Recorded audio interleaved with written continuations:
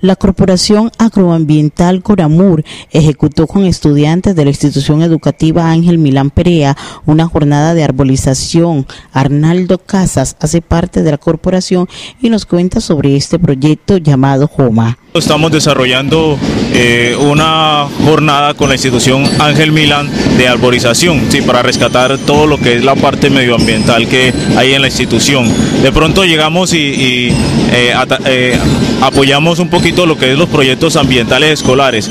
El proyecto de nosotros se llama HOMAT, que es Jóvenes Monitores Ambientales con Proyección Comunitaria. Y venimos, pues como te decía, colaborando con todas las instituciones educativas en el municipio de Turbo. La institución educativa Ángel Milán Perea es la primera en recibir esta jornada de reforestación.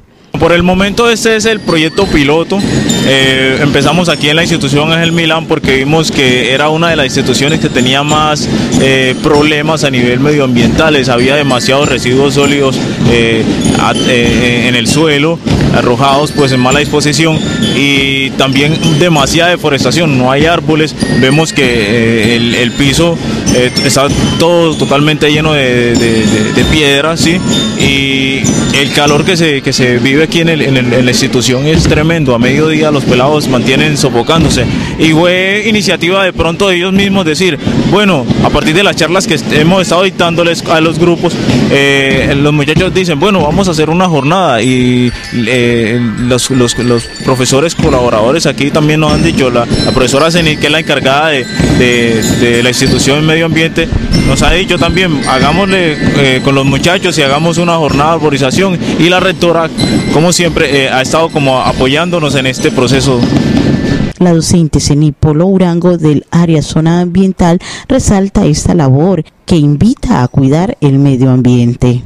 Desde hace muchos años venimos desarrollando este proyecto porque es un proyecto de las áreas obligatorias y fundamentales, el cual es coordinado con mis compañeros Luis Fernando Casabón, de Cardona y todos los alumnos que forman parte del proyecto. Además, en este año hemos tenido la oportunidad de contar con unos jóvenes de una asociación de mm, Coramur, quienes han venido manifestando su apoyo al proyecto en todos los aspectos, en lo académico, en lo forestal y en lo ambiental. En el día de hoy estamos realizando una jornada de reforestación del colegio con los alumnos de 11 del grado 10 y del grado de la modalidad.